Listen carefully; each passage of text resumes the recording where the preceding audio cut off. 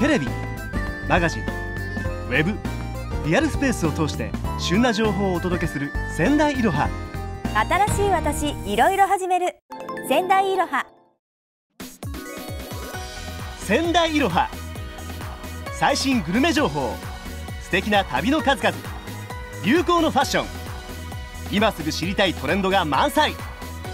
テレビマガジンウェブリアルスペースいろいろなメディアを通して最新の情報をいつもあなたのそばに。それが仙台いろはです。テレビ番組は2日からスタート。出演者は？仙台放送アナウンサーの金沢悟です。しっかりと自分のスタイルを持っている方って素敵ですよね。そういう方たちはいろんなことにチャレンジして乗り越えてきたからこそではないでしょうか。仙台いろははいろんなことにチャレンジする皆さんを応援する番組です。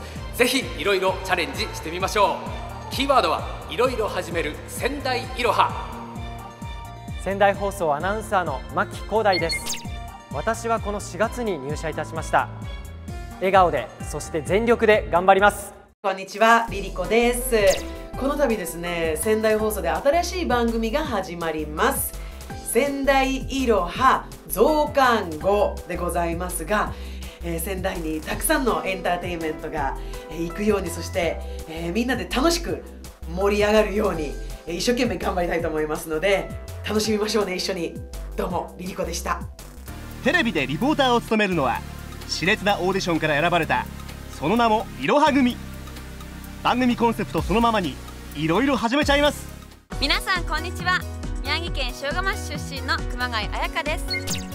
私は体を動かすことが大好きなんですですから番組でも様々なスポーツに挑戦したいし素敵な女性にもなりたいです。皆さんも仙台いろはでいろいろ始めましょう。仙台いろはのリポーターの松本里奈です。オーディションでは特技のダンスを踊りました。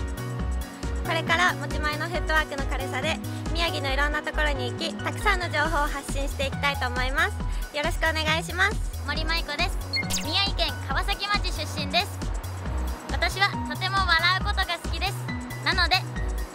仙台いろはを通じて皆さんをたくさん笑顔にできたらいいなと思っています。私にとっても初めてのテレビ番組出演です。応援よろしくお願いします。さまざまなメディアを通して旬の情報をお届けする仙台いろは。いろいろ始める仙台いろは。いよいよスタート。